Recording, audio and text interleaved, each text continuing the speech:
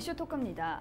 지난 7월 29일 대통령 업무보고에 만 5세 초등학교 입학 학제 개편 내용이 알려지면서 많은 시민사회단체가 연대해 정책 철회를 요구해 왔습니다. 결국 정부에서는 거센 반대 여론에 부딪혀 만 5세 초등학교 입학 정책을 사실상 철회하기로 발표했는데요.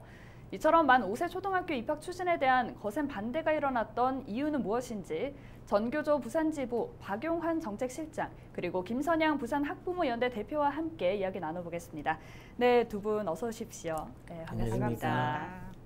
앞서 말씀드린 것처럼 교육부에서 만 5세 초등입학 학제 개편안 추진을 발표하면서 반대 여론이 뜨거웠는데요. 먼저 실장님, 이 만 5세 초등입학 학제 개편안 어떤 내용이었습니까? 네. 교육부는 모든 아이가 격차 없이 성장을 시작할 수 있도록 질 네. 높은 교육을 적기에 동등하게 제공하기 위해서 영유아 단계인 0세에서 5세부터 국가가 책임지는 대상을 확대할 필요가 있다면서 모든 아이가 1년 일찍 초등학교에 진입하는 학제 개편을 하겠다고 발표했습니다. 네.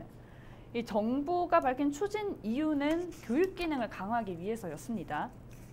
이후 전국의 많은 시민사회단체 회원들이 만 5세 초등학교 입학 추진을 철회하라는 요구가 이어졌는데요. 대표님 반대 이유는 무엇이죠? 어, 교육은 100년치 대계라고 하는데 네. 전혀 공감할 수 없는 정책이었고요.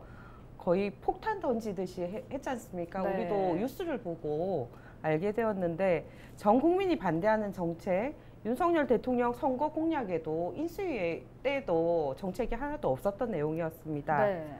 어, 만 5세 학교 입학 정책은 어, 정말 상상도 하지 못했던 것 같고요. 어, 그 뉴스를 보면서 학부모들이 정말 놀랬었거든요. 굉장히 우리 아이들 성장 단계에도 전혀 맞지 않는 정책이다. 학교에서 어린 학생들 케어할 수 있을까라는 의문들 그리고 불안함이 컸습니다. 네, 반대 이유를 좀 살펴보자면은 맞벌이 부부의 돌봄 부담도 가중될 수가 있었고 또 입시 경쟁이나 조기 사교육 문제를 초래할 수도 있다 이런 부분들도 있었고요. 또 미디어 발달로 인해서 영유아가 생각보다 빠르게 발달하지 않았고 느린 발달인데 이게 음. 과연 맞는 교육 정책인가라는 부분도 있었습니다. 특히나 아이들의 인권 또 아동의 발달에 적합한 정책이었나라는 생각이 드는데요. 만약에 만 5세 초등학교 입학 정책이 이루어졌다면 어떤 문제가 발생할 수 있었는지 선생님과 학부모의 입장에서 들어보고 싶은데 먼저 실장님부터 말씀해 주시겠어요? 네. 어, 아이들의 발달 단계를 고려하지 않은 정책이라고 볼 수 있습니다. 네. 어, 아이들이 어릴 때 영유아기일 때 부모님이나 어른들이 아이의 나이를 묻지 않아요. 주로 어떻게 물어보냐면은 이 아이는 몇 개월 되었나요? 이렇게 원령을 주로 물어보거든요. 네. 유아기 아이들은 한 달 사이에도 엄청난 성장과 변화를 하는데 이걸 모든 사람들이 알고 있습니다. 초등학교 선생님들도 이러한 관점에서 아이들의 수업이나 학교 생활을 보고 아이가 조기 입학인지 대략적으로 구분합니다. 주로 조기 입학한 아이들은 그 초등학교에서 부족한 그 상황을 많이 보이거든요. 네. 어, 그리고 두 번째는 현실적인 어려움입니다. 교육부는 처음에는 4개년 동안 3개월씩, 나중에는 12년 동안 1개월씩 앞당겨서 입학시키겠다고 했지만 네. 부산의 경우 학생 과밀로 인하여 교실이 부족한 학교가 많고 몇몇 학교는 임시로 모듈러 교실이라는 것을 운동장에 설치하고 있고요. 음악실, 과학실 등 특별실은 사용도 못하고 있습니다. 네. 어, 교사 수급도 문제라고 볼 수 있는데요. 현행대로라면 초등교사가 부족할 수밖에 없는 상황입니다. 네. 또 대표님 또 어떤 것들이 있죠? 어, 앞서도 이야기하셨는데 진짜 1월생과 12월생의 차이는 굉장히 크다고 느껴지고요. 그래서 감각놀이, 체육놀이 등 오감을 자극하고 대소근육을 발달시키는 수업을 유치원 때 하게 됩니다. 그리고 초등학교 입학 전에는 연필 지는 법, 색연필 지는 법, 낮잠 안 자기, 네. 뭐 이런 활동까지도 유치원에서 다 이루어지잖아요. 근데 이 과정이 축소되거나 없이 학교에 입학한다면 학교 교실에 2, 30명, 학교 학교 교실에 2, 30명의 아이들을 교사 한 분이 제대로 케어할 수 있을까? 사실 화장실 뒤처리도 네. 힘든 아이들도 있고요. 오래 앉아 있기도 힘듭니다. 그리고 한글도 모르는데 수업 학습은 더 해내기 힘들 것이다. 뭐 인지 능력, 사회성, 집중력 등이 갑자기 생길 수는 없을 거란 생각이 들고 이런 어린 자녀의 학습을 위해서 우리 학부모들은 또 사교육에 의존해야 될까요? 그렇죠. 네, 그런 것들이 굉장히 어, 불안하기도 하고 예, 염려되는 부분이고요. 지금도 가밀 학교의 돌봄 문제는 굉장히 큽니다. 네. 아파트 밀집 지역일수록 더 심각하고요. 맞벌이 가정일수록 또 돌봄 문제가 크게 발생할 것이다 생각이 듭니다. 네, 영유아는 원령별로 차이가 굉장히 또 크고 그래서 부적응 상황이 초래될 수도 있고 또 교실 부족, 교사 수급 등의 현실적인 어려움이 있다는 말씀을 해주셨습니다. 만 5세 초등학교 입학 정책 철회를 위해서 전국적으로 많은 학부모들과 시민단체에서 반대 운동을 펼쳤는데요. 대표님, 부산 지역에서는 어떤 활동이 있었죠? 네, 7월 29일 뉴스를 통해서 네. 어, 보면서 어, 설마 아니겠지. 곧 철회하거나 어, 잘못된 정책이다라고 발표하겠지라고 생각을 했는데 아니더라고요. 네. 그래서 서울에서는 8월 1일부터 대통령실 앞에서 반대 집회가 시작되었는데 부산에서는 8월 어, 이- 어, 8월 네. 4일 날 네, 25개 단체 이름으로 기자회견을 했고요. 교사들은 교육청에서 1인 시위를 계속했고 어, 부산 진보당에서는 현수막 게시와 8일 아침에 시내 곳곳에서 1인 시위를 했습니다. 그리고 서울에 이어서 집회를 한 곳은 부산이거든요. 그래서 8월 8일, 9일 저녁에 부산시청 광장에서 정책 철회를 위한 부산행동 집회를 이틀 동안 했습니다. 어, 19년생 자녀를 둔 학부모, 영유아 학부모들, 그리고 부산 시민들 간- 함께 참여를 해서 진행되었습니다.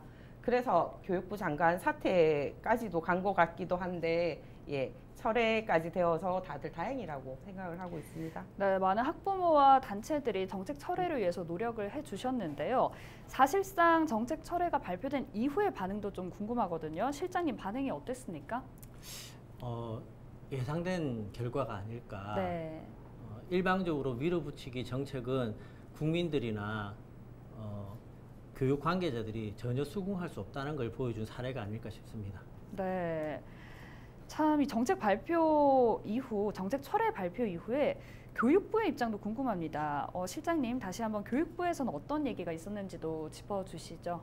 네, 어, 교육부가 이제 교육위원회 국회 교육위원회 업무 보고를 했습니다. 네, 그 이 자리에서 교육부 차관이 어, 초등 만 5세 어, 만 5세 초등 취약을 이제 처리하는 듯한 발언을 했고요. 또 이 자리에서는 이제 초등학교 전일 제 학교 운영과 초등 돌봄 교실을 저녁 8시까지 운영하겠다. 또 유치원과 어린이집 일원화를 위한 유보 통합 추진단을 설치하겠다고 답변했습니다. 그러나 이번 초등 돌봄 교실 8시 운영도 과연 아이들을 위한 정책인지 함께 고민해 봐야 될 것 같습니다.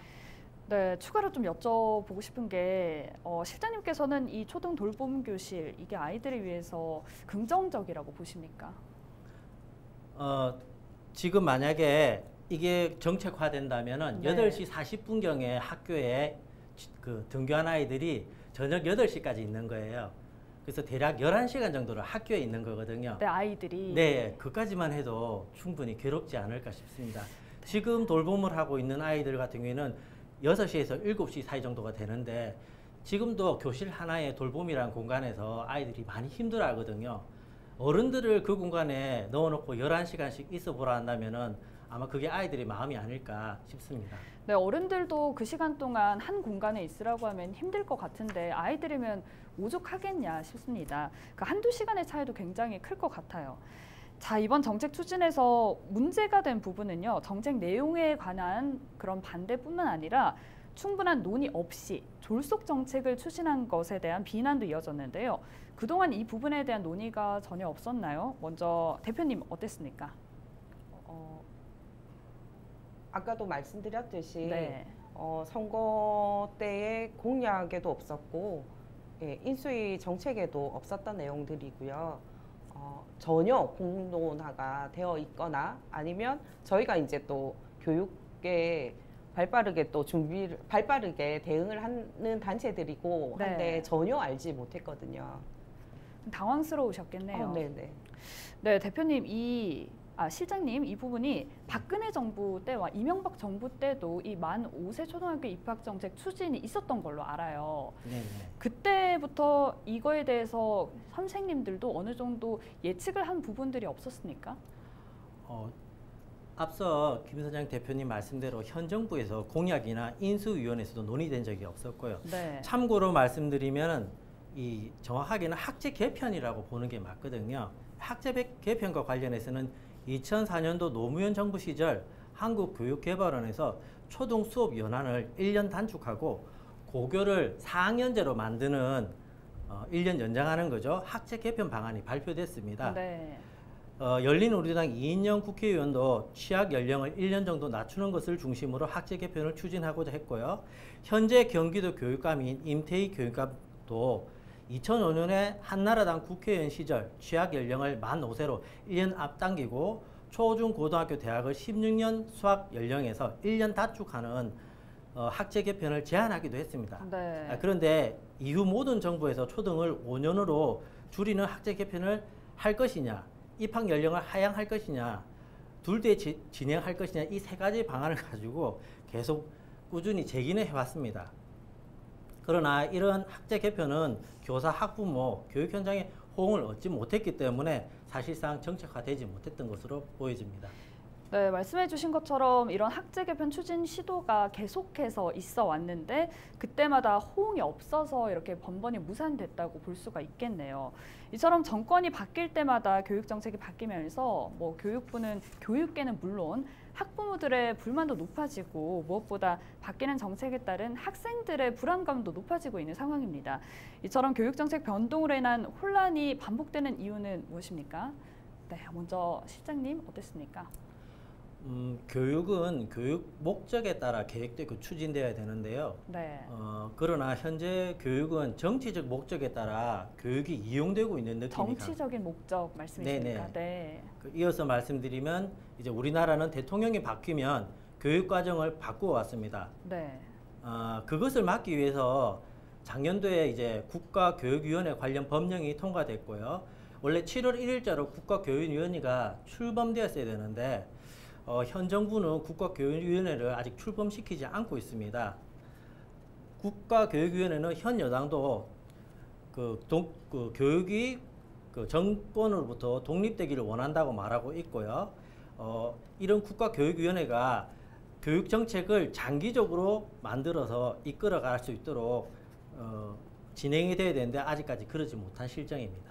네. 대표님은 어떻게 생각하십니까? 네, 그래서 저희도 국가교육회의를 어, 추진하는 준비하는 과정에서도 학부모 단체로서 또 참가도 했었거든요. 네. 그래서 정권이 바뀌든 정치 어떤 뭐 상황이 바뀌든 간에 어, 우리 아이들을 위한 교육, 뭐 백년지 대계라고 하는 이런 것들은 어, 뭐 일관성 있게 우리 아이들을 위한 교육으로 어, 변함이 없이 가야 된다. 그리고 어, 그 속에서 뭐 입시 제도라든가 여러 가지 것들을 다룰 수 있는 네. 것으로 가야 된다고 해서 참가를 했었고 이제 출범도 어, 했는데 여기에 대한 것들을 제대로 이어서 하지는 않고 있는 것 같습니다. 네. 실장님께서는 이제 교육이 정권으로부터 독립돼야 된다라고 말씀을 해주셨고 또 대표님께서는 일관성 있는 교육이 계속돼야 된다라고 네. 정리를 해볼 수가 있을 것 같습니다. 정책이 사실상 철회되기는 했지만 이번 일을 계기로 우리나라 교육 정책에 대한 많은 의견들이 오갔을 것으로 예상이 됩니다. 우리 아이들을 위해서 우리나라 교육이 해결해야 될 가장 시급한 문제는 뭐라고 생각하시는지 이 교사와 학부모 입장에서 들어보고 싶은데요. 먼저 대표님은 어떻게 보십니까? 네, 우리 아이들의 행복을 위해서는 교육에서 가장 큰 원인이 있는 것 같습니다. 바로 입시 제도라고 입시 생각을 제도요? 하고, 예, 예. 입시 제도에 맞는 교육 내용, 어, 수업 속도, 경쟁과 서열화의 시험 이런 것들이 아니라 아이들 성장 속도를 반영한 교육, 다양한 교육 내용과 협력과 연대, 인권과 배려, 정의와 평등을 체득할 수 있게 해야 되는 것이 저는 교육이라고 생각을 하고요. 그래서 교육 문제 해결을 위해서는 어, 먼저 입시 제도의 변화가 있어야 된다. 여러 가지 좋은 교육 정책들이 많이 있었습니다만 네. 그것이 입시 제도와 어, 맞물려서 했을 때는 굉장히 자초되는 경우들이 굉장히 많았습니다. 네. 그래서 대학 입시 고사의 과감한 변화 이것이 먼저가 되어야 될 것이라고 생각합니다. 네, 아이들의 성장 속도를 반영해서 이 입시 제도가 아닌 그런 교육으로 과감하게 시도해야 된다라고 말씀을 해주셨습니다. 네, 교사의 입장에서 실장님께서는 어떻게 보시고 계신지요? 네, 대표님하고 똑같은 생각인데요. 네. 이 살인적인 경쟁을 유발하는 입시 제도가 가장 시급한 문제로 보입니다. 사실 아이들은 저마다 존중돼야 될 개인이거든요. 네. 하지만 학교에서 교실에서 오로지 등급과 등수로 그 자기들의 존재감이 인지됩니다. 그 친구는 협력이 대상이 아니라 오로지 경쟁자로 인식되고 있거든요. 교육이 경쟁이 아닌 배움의 기쁨과 성취의 경험, 협력으로 가야 하기 위해서는 입시 제도는 꼭 어, 해결해야 될 문제라고 봅니다. 네, 말씀해 주신 것처럼 사실 교육의 본 목적은 그것이잖아요. 배움과 성취. 그런데 너무 입시 제도로만 이렇게 매몰돼서 이루어지고 있는 것 같기는 합니다. 만 5세 초등 입학 정책이 철회되기는 했지만 앞으로 이번 일을 계기로 이 부분에 대한 논의가 계속될 것으로 보이는데 어, 대표님 앞으로의 계획은 어떻게 되는지 궁금합니다. 어, 저희들은 지금 철회되었다라고 보고 있, 고요 네. 어, 그런데 대국민들에게 굉장한 혼란과 그리고 스트레스를 많이 주었지 않습니까? 네. 거기에 대해서 대국민 사과가 제대로 되어 있진 않아서 좀 찝찝한 마음도 들긴 합니다. 어, 그렇지만 어, 저희들이 월요일, 화요일, 8일과 9일 부산 행동 집회에서 많은 것들을 이야기했었고요. 어, 그래서 이제 부산 행동은 우선은 저희들도 접었습니다. 그리고 철회가 되었지만 어, 또다시 어, 어떤 공론화가 되어 있지 못한 교육 정책들을 어, 말한다면 또다시 부산 행동 집회로 또 해야 되지 않을까라는 생각이 듭니다. 그리고 어, 진짜 경쟁과 서열이 없는 공교육 강화 이런 부분들에 대한 어, 공론화와 그리고 관심과 활동들을 계속적으로 할 예정입니다. 네, 이번 일을 계기로 생각해 봤을 때 참 학부모와 교사 모두의 입장이 반영된 그런 정책들이 공론화 과정을 통해서 이루어져야 된다는 생각이 듭니다. 끝으로 앞으로 교육정책 방향에 대해서 정부에게 바라는 점이 있다면은 교사와 학부모 입장에서 각각 말씀 부탁드립니다. 먼저 실장님 말씀해 주시죠. 네, 바라는 점은 되게 많습니다만 이번 만 5세 초등 취약 정책처럼 교육을 경제적 관점에서 바라보지 않았으면 좋겠습니다. 네. 교육은 기업이 필요로 하는 사람을 양성하는 게 목적이 아니라 자주적인 민주 시민으로서 인간다운 삶을 영위하기 위한 것입니다. 심지어 이 내용은 우리나라 교육기본법에 나와 있는 내용이거든요. 이것이 실현됐으면 좋겠습니다. 네, 알겠습니다. 교육을 경제적인 관점 그리고 앞서 말씀해 주셨듯이 정치적인 관점으로 바라봐서는 안 된다라는 말씀 들었고요. 이번에 대표님 말씀해 주시죠. 어, 네. 출산율이 낮다고 아이들을 조기 입학, 조기 졸업으로 산업 인력 양성으로만 치부해서는 그런 교육 정책을 세우지 말았으면 좋겠고요. 지금의 어린이 행복권을 중심으로 교육 정책이 마련되어야 한다고 생각을 합니다. 그리고 또 하나 덧붙이자면 코로나로 인해서 학생들의 어떤 사회성이라든가 학업 성취율이라든가 그런 것들이 굉장히 어, 저조한 상태이고요. 네. 그래서 어, 회복 교육이 먼저 되어야 되지 않냐라는 회복 생각. 교육 네네. 말씀이세요. 회복 교육이 먼저 되어서 정말 공부하고 싶은 마음이 들 수 있게 그리고 자기의 성장과 그 학력에 맞추어서의 수업이 진행될 수 있게 하는 그런 회복 교육이 먼저 되었으면 좋겠습니다. 그리고 학생들 수준에 맞는 단계에 따르는 교육이 될 수 있게 되었으면 좋겠고요. 어, 학부모들이 또 사교육에 의존하는 교육이 아니라 공교육 속에서 모든 것들이 좀 이루어질 수 있는 교육이 되었으면 좋겠습니다. 네, 오늘 말씀 여기까지 듣겠습니다. 지금까지 박용환 실장님과 김선영 대표님과 함께했습니다. 두 분 감사합니다. 감사합니다.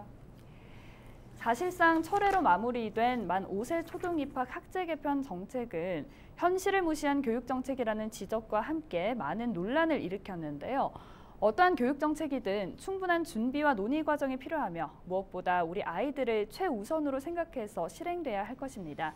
헬로 이슈 토크 오늘 여기서 마칩니다. 함께 해 주신 여러분 감사합니다.